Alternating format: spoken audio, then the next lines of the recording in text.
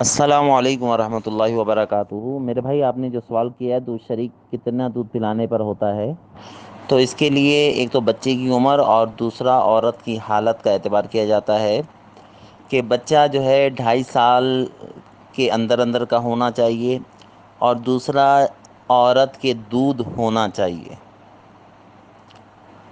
तो अगर बच्चे ने पिस्तान मुँह में लिया तो दूध शरीक हो जाएगा क्योंकि ये मामला ऐसा है कि कितना पिया, कितना नहीं पिया, ये इसका शुमार नहीं किया जा सकता। बस ये दो सूरतें हैं कि बच्चा ढाई साल से कम उम्र का हो और औरत को उस वक्त दूध हो। अगर बच्चे ने पिस्तान एक दो बार मुँह में ले लिया तो वो दूध शरीक हो जाएगा। अस्सलाम वालेकुम रहमतुल्लाह।